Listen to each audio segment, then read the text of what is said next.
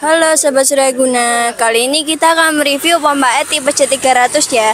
Pompa ini biasanya digunakan untuk sirkulasi kolam dan lain sebagainya.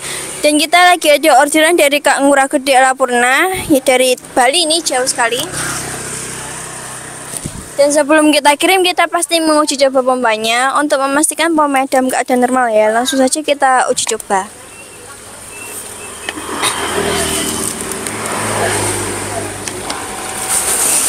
Pompanya nyala dalam keadaan normal ya.